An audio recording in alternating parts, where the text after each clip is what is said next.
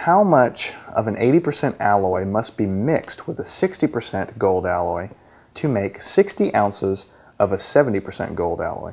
So you have, this is an alloy problem, okay? An alloy is a mixture of metals, okay?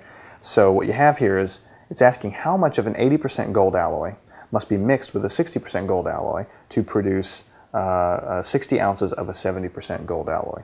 So you're taking a 80% uh, pure gold alloy um, and you're mixing it with a much less pure 60% gold alloy and you're ending up with something in the middle, 70% gold. Uh, and you want to know how much of this uh, gold alloy do you need, the 80% gold alloy do you need to do this, okay? So what we're going to do is we're going to let the variable x be equal to what we're trying to solve for. So x is going to be equal uh, to the amount of 80% alloy needed. That's what we're trying to solve for. How much, it says how much of an 80% alloy. So whatever it is, it's going to be X. We don't know what it is yet though, okay? All right, so then you know right away, because when you do the mixture and it tells you that you're making 60 ounces of something, you know right away uh, that 60 minus X is going to be equal to the amount, whoops, I wrote this down wrong.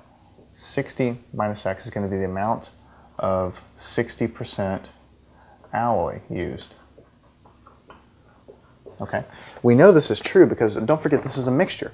You, you add them together and the you know there's it's a zero sum game. You have this much of this plus this much of this gives you this much of that. Okay, the problem tells you that you're going to end up with 60 ounces of something. So I, I've defined x to be however much of this first alloy I need, so then 60 minus x must be the amount of the other one that I used. Because you add them together, they have to equal 60, okay?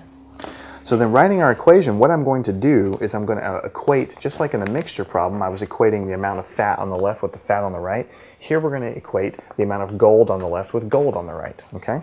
So let's do that. Okay, this is X, which is the amount of the 80% alloy that I need. That's the amount, okay?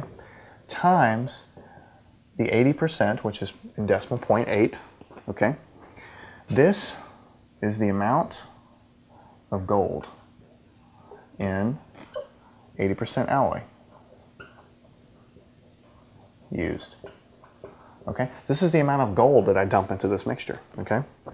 Plus, and we just talked about this, 60 minus x which is the amount of the 60% alloy used, times 0.60, okay? Uh, because you know when you when you talk about all alloys, 80% alloy, it means 80% of that alloy is gold. 60% of this other alloy is gold, okay? So I'm trying to equate gold here. So this is the amount of the other alloy used. 60% of it is gold, so that's what this is, okay?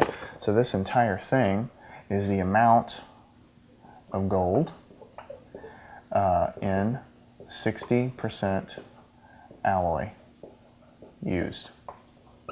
Okay, this is the amount of gold there. Then in the end, when you add them together, you're going to get 60 ounces of something, okay, that's 70% pure gold. Okay, so this is the amount of gold in mixture. Okay, so I wrote an equation that talks about how much gold total I have. Okay, this is the amount of gold in the 80% alloy that I mixed in. This is the amount of gold in the 60% alloy that I mixed in. And this is the amount of gold in the total end result when I mix them both together. Different percent, different amount. Okay, so now you can do this. You can solve this equation.